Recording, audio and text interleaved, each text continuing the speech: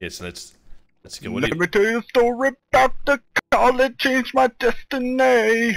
Me and my boys went out just to end up in misery.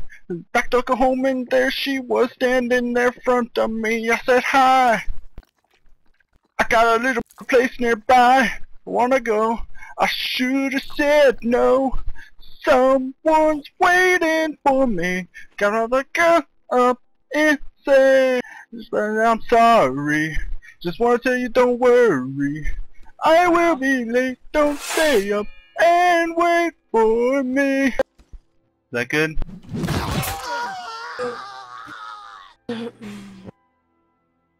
Hello. Do you think it was good?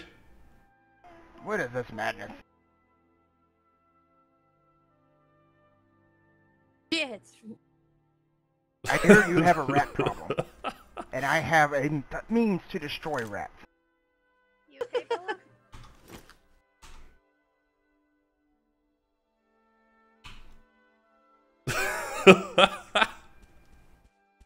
yes, he killed it. Ah, wow.